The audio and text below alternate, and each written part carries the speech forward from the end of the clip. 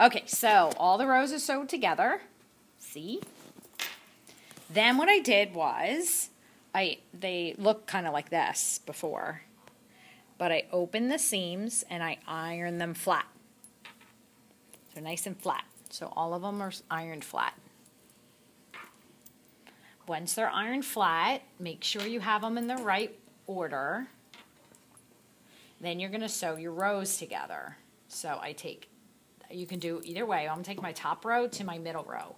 Remember, right sides together. I'm going to match up my seams. So I look here, and I look here, and make sure they match. And I slide it there. And it may not be perfect if your cut's not super perfect. It's okay. But this matching is most important. Can you see under there? Mm-hmm. Yeah. Yeah. Yeah, matches. Perfect. Okay. Then you pin it.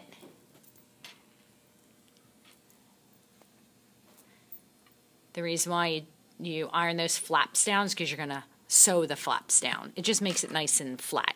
I like to pin it right there too. Okay, and then I'm going to come back in the machine. Okay, so 5 eighths again. See, I'm not perfectly lined up there, but that's okay because I just want to make sure my seams are though. Seams.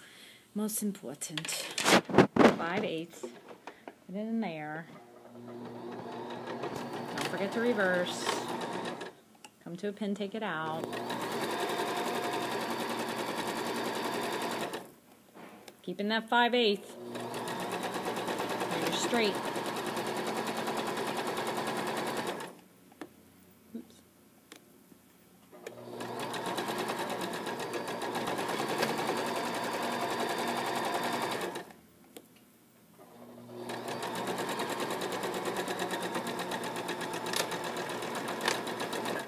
Okay, thread take up lever all the way up.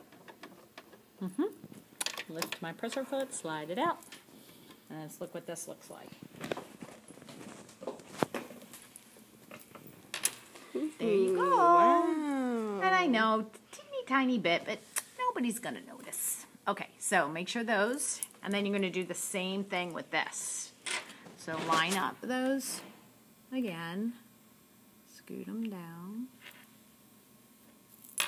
Gonna sew, I'm gonna pin and sew that one too. So when it's all done, it'll look like that. The end.